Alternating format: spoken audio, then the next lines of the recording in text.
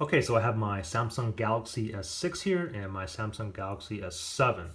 You can see they have the always on display on my S6.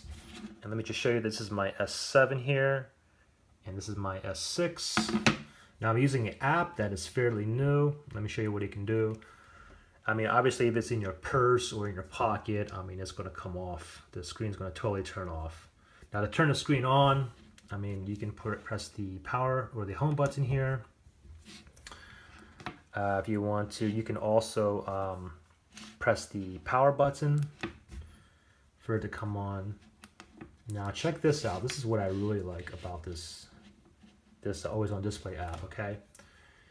I don't have to use any buttons to turn it on, to turn the screen on. I can simply do this, double tap. Now you can't do that with the S7, so I think it's a great feature because, you know, if you're constantly pressing your home button or power button, there's times where down the road it can break. Your home button can break or your power button can break. So I think this is a great feature.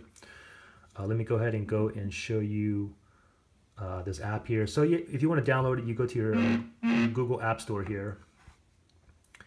And it's called uh, Always On Display from S7 as well as the G5 phone. That's what the icon looks like.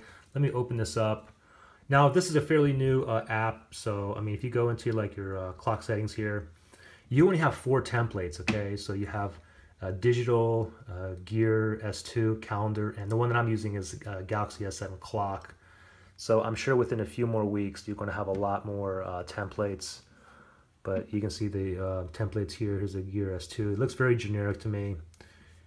And I mean, for myself, I'm fine with the, um, the Galaxy S7 clock template because all I need is the time, the date, and a battery percentage, and that's all I need.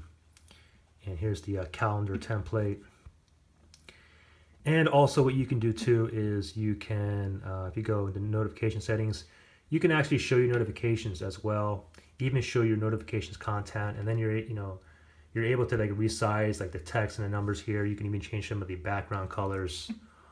Um, so yeah, I think that's uh, pretty much it. You can see the notifications would be uh, like down here, down here. And that's pretty much it. Any questions or anything, just comment below. All right, thanks. Bye.